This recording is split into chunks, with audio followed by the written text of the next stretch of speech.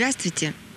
Говорят, все, что не происходит, все к лучшему. А значит, рано или поздно все будет хорошо.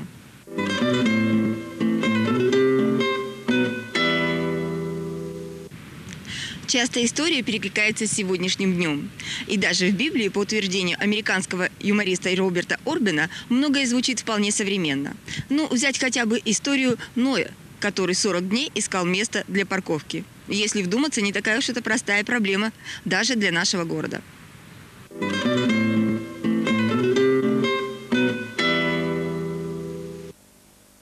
Ну вот, деревья вырубили, построили дом, а новые посадить забыли. Или вот газон. Ну к чему эти нежности? Транспорту припарковаться негде, а вы тут со своими маргаритками. Этакая критическая ситуация сложилась перед домом 25А по улице Студенческая.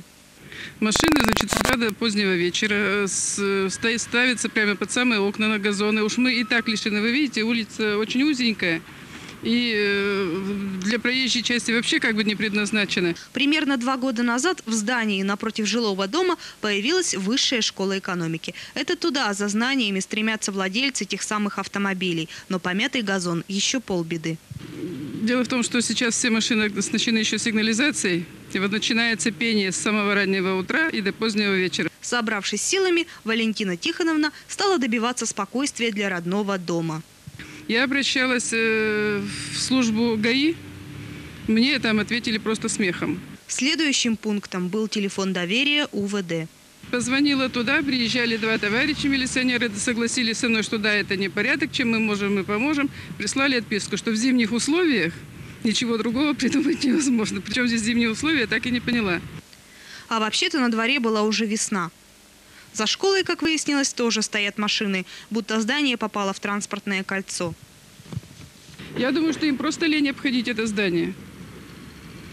И у школ им так лень. Я думаю, при тех доходах, которые имеет высшая школа экономики, ведь там огромная э, плата за учебу, очень много коммерческих групп, так неужели они не могут сделать вход с той стороны, чтобы можно было удобно пользоваться тем же водителем?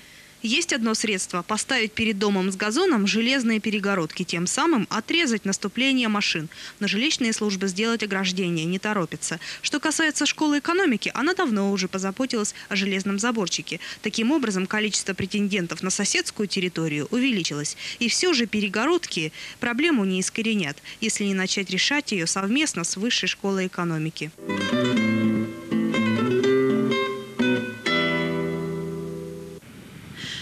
я скажу, что телевизор в нашей жизни занимает значительное место, вы подумаете, что я либо глупа, либо зануда. Поэтому я скажу, что телевизор в нашей жизни может заменить только телевизор с еще большим экраном. Итак, вы решили купить новый телевизор. Но какой же выбрать? Техника столь стремительно развивается, что каждые полгода появляется что-нибудь новенькое, более совершенное.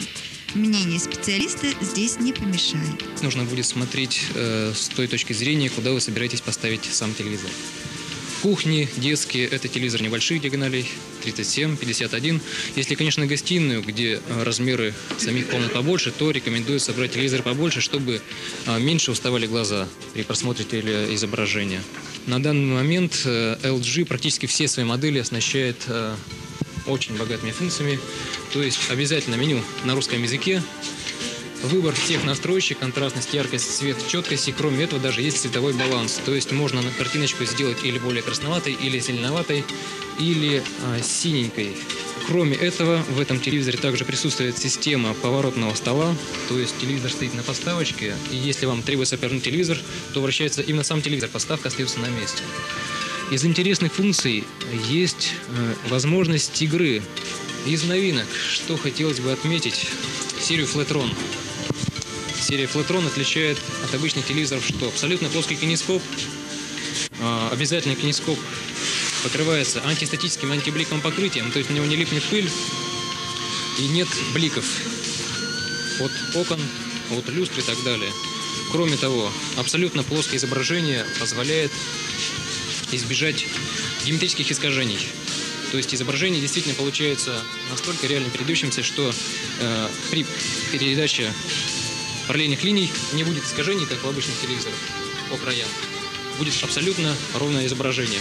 Плюс к этому цифровая фокусировка сигнала позволяет а, изображение фокусировать не только по центру экрана, как в обычных кинескопах, но в пяти точках.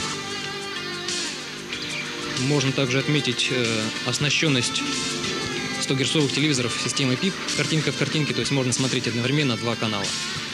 Кстати, компания Saturn R на прошлой неделе сделала пермякам хороший подарок, открыв новый фирменный магазин LG Electronics, где вам не откажут в консультации при выборе любого товара.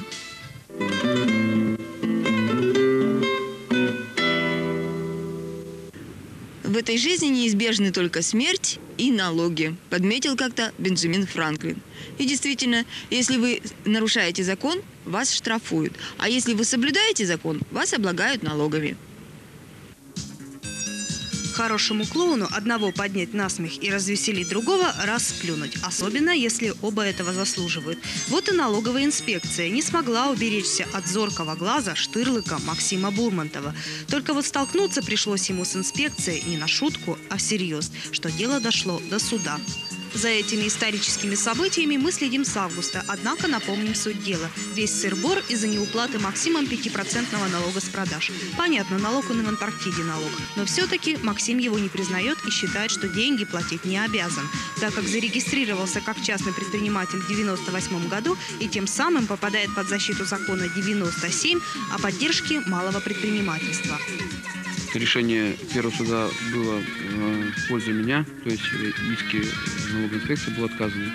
Решение сильное, но обиженная налоговая инспекция подает апелляционную жалобу в Пермский областной суд.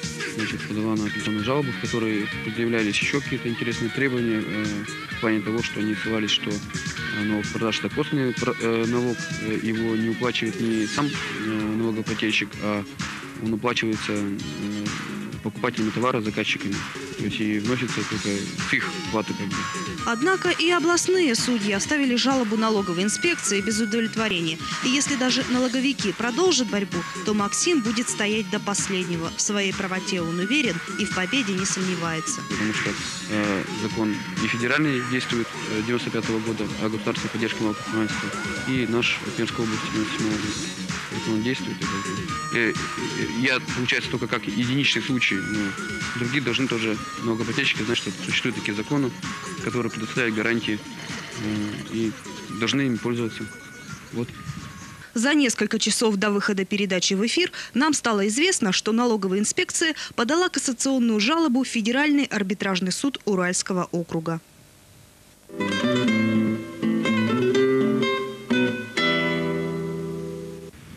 Я к вам пишу, чего же более, что я могу еще сказать? Нет, современная Татьяна сказала бы, позвони мне, позвони, позвони мне ради Бога. Только вот, к сожалению, проблема с телефонами-автоматами превратилась в затянувшуюся болячку на теле нашего города.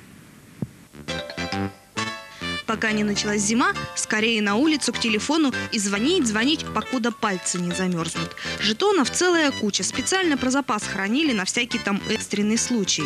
Только вот проблема, где найти работающий таксофон. Не любят брата автомата, бьют нещадно, руки выворачивают. Такие таксофоны-инвалиды обитают на улице Крупской. Да и таких бедолаг в городе великое множество. До 1 декабря уж рукой подать, а пока исчезают потихоньку таксофоны с жетонами, заменяют их на аппараты карточные. Знать скоро эти металлические кружочки только в краеведческий музей сдавать. Пластиковые карты, похоже, всепризнанной любовью пока не пользуются, и у остановки их днем с огнем не сыщешь. Остро нуждающиеся бегут приобретать карту в спецотдел за 3-9 земель. В ночное время позвонить на улице порой совсем невозможно. Таксофоны с жетонами разбиты, а карту ночью не добудешь. На углу напротив цирка уже нет ни одного таксофона, работающего по жетонам. Вместо них аппараты с красными буквами ИС, что означает интеллектуальная сеть. Наверное, звонить может только тот, кто считает себя интеллектуалом. Пока что желающих не густо. Проходят времена жетончиков, грядут времена карточек. Живем на перепутье. Так что у кого завалялась пара жетонов в кармане, используйте их по назначению, не жалея. Правда, чтобы найти работающий таксофон, вам придется обойти полгорода. А если все-таки нашли, считайте, что вам крупно повезло.